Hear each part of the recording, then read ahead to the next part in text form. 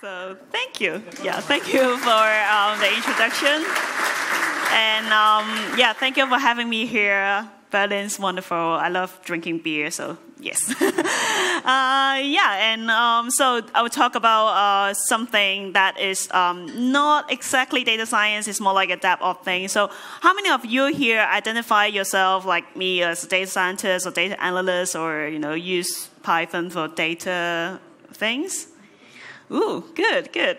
Uh, how many of you are like, you know, Python developers and more like a development side and, you know, um, yeah. So probably, yeah, uh, it's a mix of background, but this talk will be, you know, suitable for everybody, so it's good. Um, okay. So uh, I'll briefly introduce myself. Uh, thanks for the introduction, but I'll talk a little bit more. Uh, I work in Hotel Best now, and um, I'm also organizing an AI club for gender minorities because I uh, really want the diversity in the business. Because uh, I've seen a lot of ladies; they have very good potentials, but they're just like sometimes a bit scared to, you know, um, to pursue for their career. So uh, the, the, the club is really helping. Um, so we have a good community, and also I'm a member of the Python Sprint. So what are we doing is we are contributing to the open source project, which is the, the reason why you're here, right? Like, because you're learning about open source libraries and Python is an open source project. So, um, yeah, so please support open source. And also, uh, I've contributed to uh, Pandas and also dateutil. Uh, so if you get a chance, uh, go to, you know, I think tomorrow there's a session about uh, how to contribute your first open source um, contribution. So please attend that and you'll love it. and also my colleague want me to just give a little uh, you know, uh, about our, we are hiring. So uh, if you are like, if you are a data, you know, person and you know, um, want to work for BI and data analytics, we are going to hire a lot of, um, you know, um, data uh, scientists, data engineer. So even though if you're, you know, a technical, um, data, you know, data engineer, like please um, pay attention and or talk to me afterwards. So. Okay, I won't spend too much time introducing myself and my company. Um, so now let's talk about the, um, the things I want to talk about today. Uh, who knows about Docker, right? Who used Docker before? Used Docker before? Yeah? Good. So you already know about Docker, uh, which for me is always, you know, I remember it by the cartoon um, image of a whale with the boxes. So basically, what it represents is like we can ship our app, our application, and whatever we, we did, like in an environment that is the same everywhere. We don't have to worry about it works on my computer but not work on my colleague or the user's computer. And also, uh, it's like a VM, but it's not a VM because it's very lightweight, so um, it's, it's perfect for its job. So uh, there's a lot of users using it now, and it's very popular. Uh, okay, that's Docker, but uh, what about Terraform? Uh, who heard about Terraform? Good. Uh, so yeah, uh, Terraform is an infrastructure as code. So basically, what it does is I would make it brief. So, for example, if you, we are using a cloud platform, like, uh, for example, AWS or GCP or Azure, we have to, you know, when we launch an instance, uh, we have to set up all the settings, right? Uh, how big we want, like which region we want to use it, and maybe, for example, uh, in, in my case, I would use GPU, so I have to uh, add the GPU accelerator for the uh, if I'm using GCP. So, um, so all these settings a bit, you know, um, sometimes, you know, we make mistake, right? We forgot, oh, we forgot to add something in, or the size is not the right size, it's too small for my job. And um, so that's why it's good to have it as code, so we can, um, you know, uh, check or what have we done wrong. It's like we can debug it very easily because every everything is just there in a page. And also, it's very good for, you know, you can kind of um, reuse it and you can show it to your colleagues and things like that. So uh, how do I know about it? Because I'm a data scientist. I'm not a you know a DevOps person. Uh, but uh, I always believe that you know um, as a data scientist we have to uh, always keep learning and uh, learn new tools to help your job or help whatever project you're working on. So I had a, uh, overcome a challenge before because I'm you know um, studying on Coursera, and there is a course about deep learning, which there was an assignment that you know um, they, they're very nice. They already put it there saying, if you are using, you know, a, a CPU to, to train it, it would take seven hours for each, uh, each time you run it. So, but of course we have to tune the hyperparameters and all these like try and error. So seven hours is too much. I only have, you know, like the deadline is tomorrow, so no. uh, so I'm thinking, oh, maybe um, I could use a GPU. So uh, I'm, I'm, looking for a solution. Like, uh, okay, uh, do I have a GPU in? Of course, every every laptop have a GPU, right? Well, graphical unit. So look it up. It's oh, my GPU is not um, NVIDIA, is, it's, Intel or something like that. Uh, but, uh, you know, TensorFlow love NVIDIA. I don't know why it doesn't work that well with Intel, and I haven't figured out an easy way to work with that. So, um, okay, I have to get a NVIDIA G, uh, GPU. Uh, I I look it up on eBay or something, it's very expensive. it's, it's 200 to, to a 1,000 pounds. It's like, it's only for a homework that is like, you know, deadline is tomorrow and I, I won't, you know, I can't buy it. It's like too expensive and I didn't get it in time. So I think the best solution is to go to cloud, cloud platform, right? So um, uh, my company is using AWS. Um, but I mean, I, I, I'm always a Google person. You know, I use a lot of Google Docs and things. So um, yeah, maybe I will look, have a look at the GPUs, uh, GCP. So um, I will look at it, and actually, it's not that expensive, and they give you free credit to try it out. So yeah, why not? Um, yeah, but at the end, uh, a side note, at the end, I have to pay uh, uh, in, like beforehand before I can use the GPU. But you know, um, it's okay.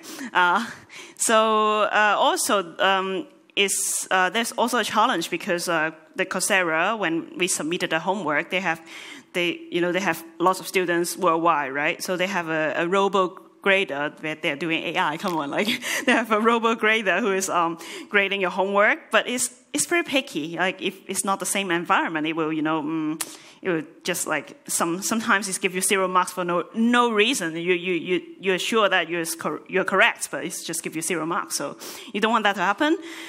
Uh, fortunately, the TA in that course, they're very nice. They, you know, created, you know, a, a Docker image that, you know, the environment's going to be the same. So Docker is saving the day now. Um, but um, I just need some adjustment because I want to use the GPU.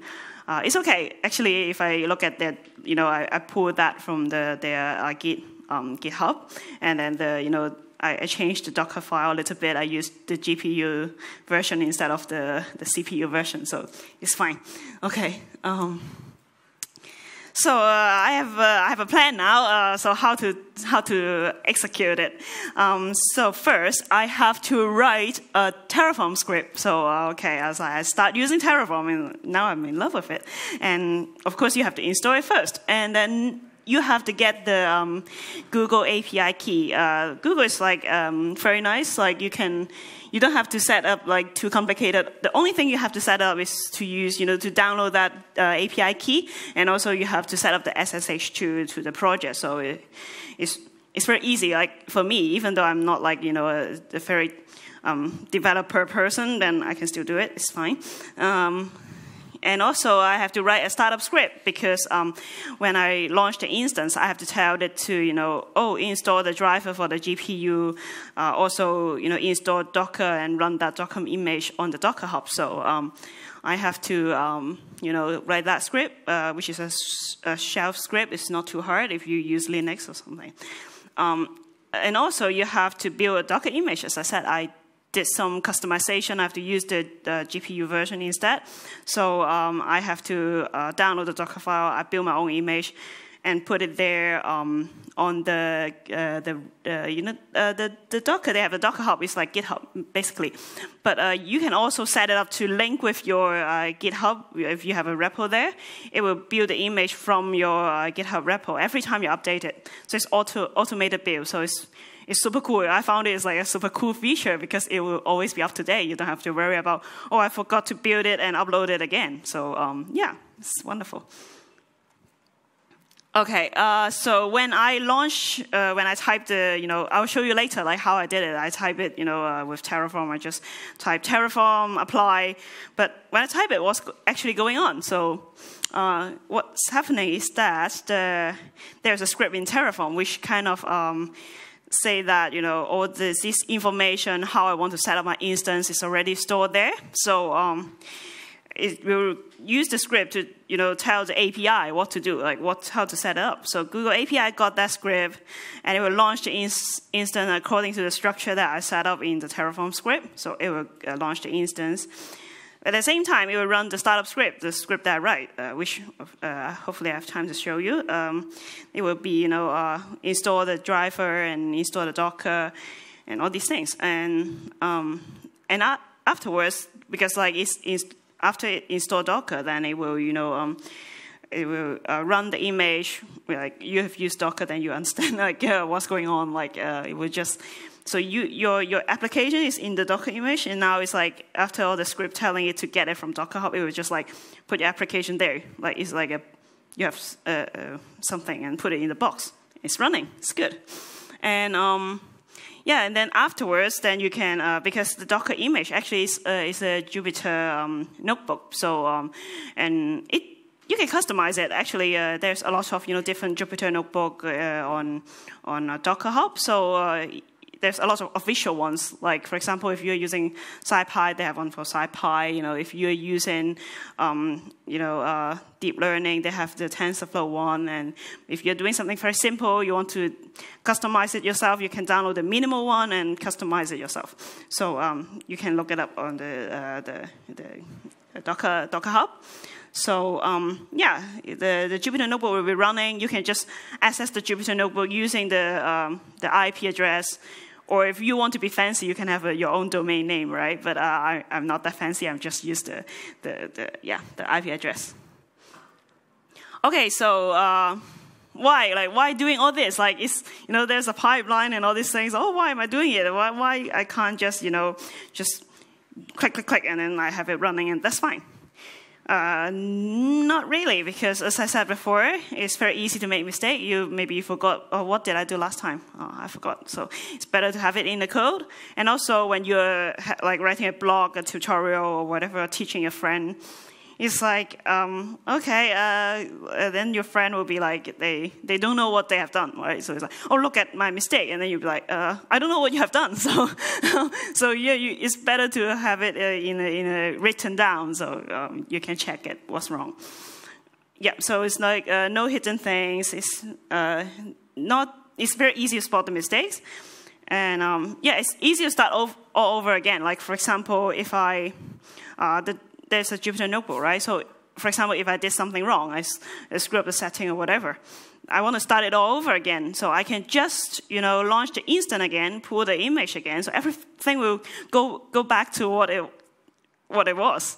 And also, if, for example, if you started a project and you work on it for two or three days, you want to put it down for a while, like you can save all these things, but you want to shut down the instance. The next time you want to like, um, maybe after a month you want to, oh, run it again to like to pick it up from there. Then you can, you know, um, launch it again. You don't have to, you know, oh, what did I do before? And now everything's here, so you don't have to worry about that. Okay, um, I have lots of time, so I can do a demo. And yeah, uh, let's see. Okay, so uh, basically the, the demo I do will be um, uh, from my um, GitHub. So uh, yeah, so you can uh, kind of go to my GitHub. Uh, I'll show you the link afterwards. I'll upload the slides so you, you, you'll be able to access, access it. And I'll show you. Yeah.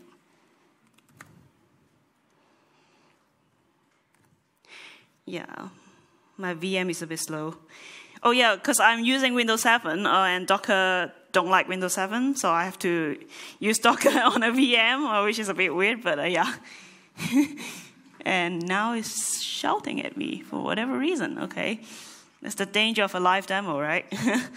okay, so what's in here? In the directory, actually there's, uh, oh, it's too, too, too dark. Uh, is it? Is it? It's too small, okay. Uh, there's not much I can do about it. Um, okay, uh, maybe. Oh, good. I don't use it that much. You can you can tell, yeah. yeah. Okay. Woo. Okay. Uh, look at this. Like uh, we have. Is it okay? Is it okay now? Yeah. So uh, we have three files. The only three files that you need for this demo. The other thing doesn't matter. Like you only need this three to start with. You need a Terraform file, you know, something .tf, and then you need that JSON file that I talk about. Remember, I talked about there's a Google API, you know, um, login detail.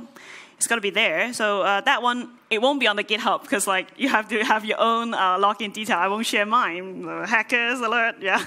So yeah, and also um, startup script. That's the script that I write for you know um, pulling the Docker and all these. Uh, for the demo, I don't use the GPU because it would take a longer time to run the GPU instance and it costs you more. So mm, no, it's just a demo. So, uh, but it will do what it what the startup script will do for this one is like it will pull the um, the uh, it will download Docker and also pull the Docker image. So yeah. Okay, so now I have the Terraform script. I have installed. Uh, sorry, the, yeah, the Terraform script, and I've installed Terraform before. So what you have to do is only like Terraform init. So it's it's like your you know uh, Git repo, you can like init it first. So um, yeah, it's downloading plugin. Uh, I hope the internet is fine. Yep, so it's it's good. It know that it's a, a Google because maybe uh, it, I think it read the script and it sees a Google service provider and is connecting to Google now. And now, uh, so all you need to do is like Terraform apply. But a lot of people, the practice is like they will look at the plan first to make sure this is what they want before they applied it, because um, it could be a disaster, right? If you're working for something, maybe like in a company or something, so you don't want to do it without checking. So, yeah, so it's like uh, you get all the information about what you will be setting up. For example, uh, you know, um, uh, like uh, the, you know, uh, this is the firewall tag, so I tag it with the firewall. So, uh, oh, this is the firewall. So this is the, you know, the instance. You can see uh, it will be a Ubuntu instance, and you know all these. Uh, it will be uh, the size will be this one, you know, and yeah, and the name and whatever is not very important. Oh, the region, if you have a preference, yeah, it will be there. And um, okay, so now we can finally apply it. So. Um,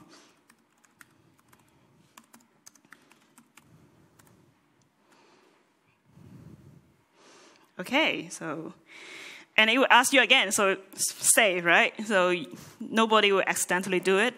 So you can double check, triple check before you say yes, and then it will do it. So uh, I can show you what it does. It's actually now it should be setting up an instance if I refresh it now.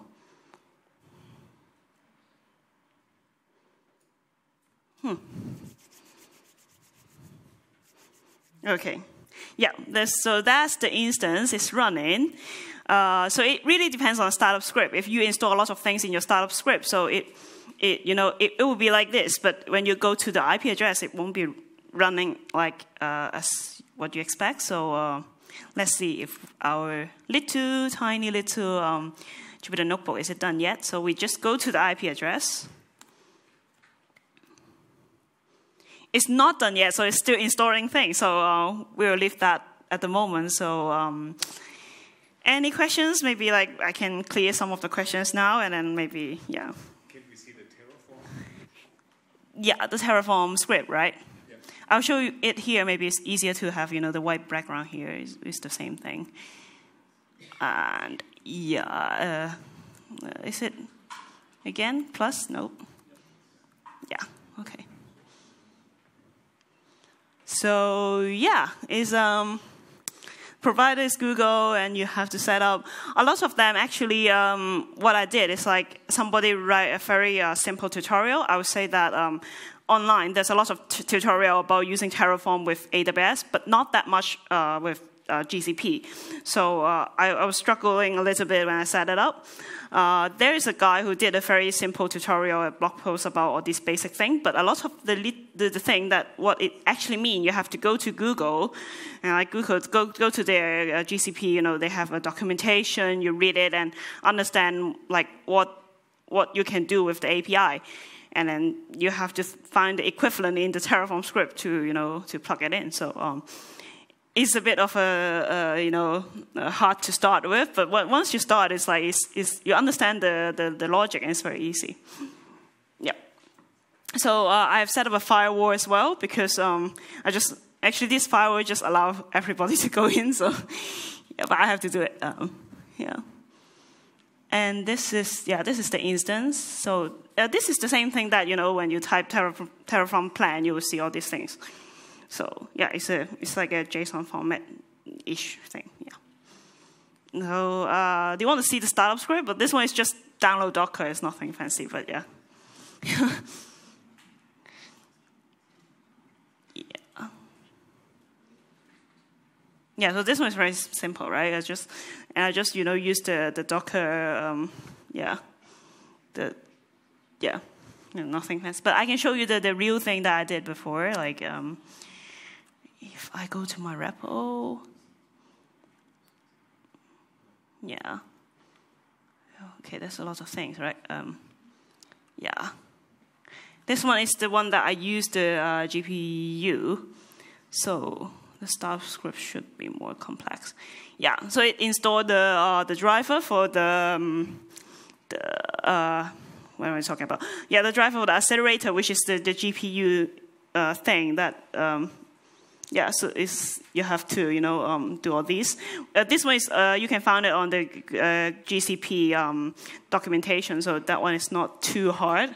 You just need to find like where it is and like how to get it, and install Docker, and yeah, this is more complicated because um, I, have customized it, and you know, um, yeah.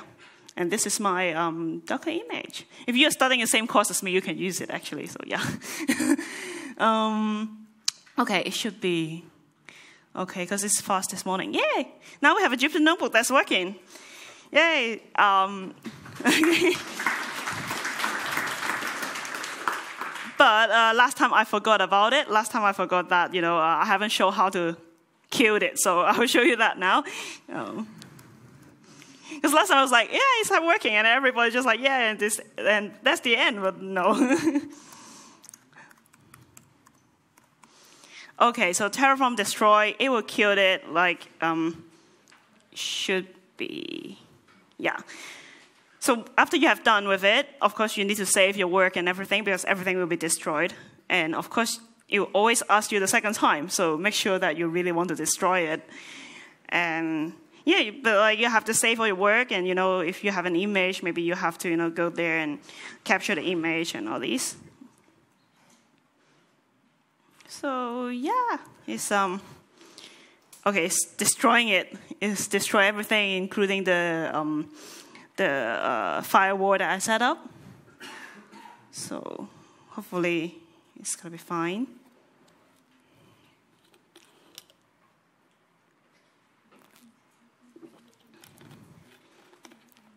I'm a bit nervous when it's taking so long. Maybe the internet is not good. it's taking very long. Oh, oh my God. I can't cue it now. Uh, yeah, still. Oh yes, it's destroyed. Okay, now I, I, don't have to worry about it. Because uh, like, because if you, you are running a GPU instance, it could cost you a lot of money, right? So yeah. So okay, uh, maybe I'll show you like now this one should have nothing and give me like a whatever error like 404 or I can't find it or whatever. Uh, Okay, it's a bit slow. Yeah, so now it's gone. It's not there anymore. And um, yeah, this one become you know nothing. So it's destroyed. So everything seems to work perfectly. Uh, do you have any more questions? Because I have a lot of time left. So yeah. Yep. So here you created, you only launched the instance using Terraform and then you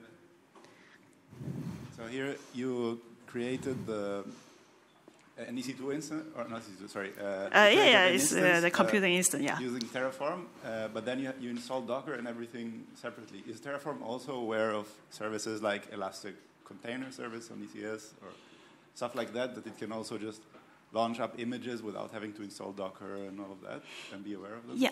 I believe it's integrating better with AWS. That's why uh, a lot of people are using it with AWS. Uh, I believe because um, uh, my I have a friend like she's a software developer. She's using it with AWS, and she said that oh yeah, actually you don't have to. There's a thing in AWS like as you said, like you don't have to do it in the startup script. It's already there, and you can just attach your image there. So uh, yeah, I believe AWS there's an advantage. So yeah, but I, I did it because I you know I, I want to you know there's not enough tutorial there for GCP, so I tried to you know challenge myself and help other people who want to use GCP. So yeah.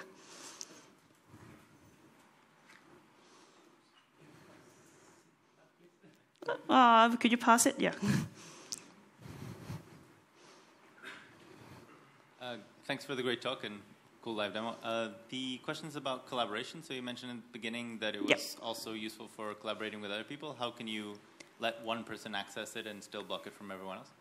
Uh, you mean the instance uh, for the instance that you can, you know, um, you can actually set up the permissions because uh, in GCP, you can set up the user groups and all this. So you can, you know, uh, set up who can access it and who have the rights to change it. And but uh, but in my in my slide, my point of like collaboration is like, for example, if you want to pass your work to your colleague, if like for example you pass your project to them, and they know that how to launch the instance again, like maybe after like after 10 years when you already left the company or whatever. And yeah, they have it written there. It's, not like you have to write a documentation. Oh, now you click this and now you have to like type in there. But yeah, so that's what I mean. Yeah. Um, I've, I have a question. How do you persist data? I mean, also if you maybe have uh, different Jupyter notebooks and uh, yeah, how do you do that in, the, in Google? I've actually no idea. Uh, in Jupyter Notebook, like uh, the contents inside the Jupyter yeah, Notebook. no. Right? Let's say you have some embedding, you save it, and how do you how would you Ah. persist it? Would you attach a volume or something, or I don't know how this is done. Yeah, actually, um, because this one is kill the instance, right? So for the if the, the, the you know the volume is inside the instance, it will kill it as, as well. So maybe you have to set up a pipeline to store it in another you know um, storage space, like uh, the, the, you know a data warehouse or whatever like that suits your project, so you can save it there. Or if it's just you know if if you're like me, just using it for the GPU, right? Then you can just download it and upload it again. So yeah. Oh, okay. All right. Yeah. Thanks.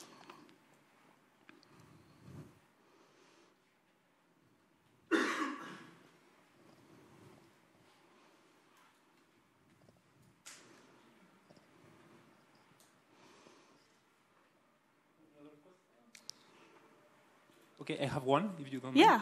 mind. Um, so you were mentioning collaboration uh, before in one of your slides. Yeah. How would you see collaboration using this setup? So how would you use it to, to collaborate? Yeah, uh, yeah. It's like as I said, I can pass on my code, but also like people, you know, they can, you know, um, m- like modify it on top of your work. For example, like you know, actually, I'm collaborating with that um, that TA of that Coursera course because you know he, built a Docker image, you know, but I, you know, add things in, I modified it, and because everything is written in the code, it's very easy, you know, to change the setup. So I can, you know, um, instead of using just TensorFlow Jupyter Notebook, I use TensorFlow GPU version, um, you know, Jupyter Notebook. And, you know, if, of course, he didn't do the Terraform part, but like if he used the Terraform to launch an instance without the GPU accelerator, I can change it to, you know, oh, add an accelerator and, you know, uh, run the driver in the startup script and all these things. So, um, yeah, it's like code uh, is very easy for uh, collaboration because, uh, yeah, of all these advantages. Right. Any more questions? It's okay if they, you know, um, we finish and have lunch early. And Sure. then I think it's better Yeah. for everyone. So thank you very much for your talk. Yeah. Um, let's thank the speaker again.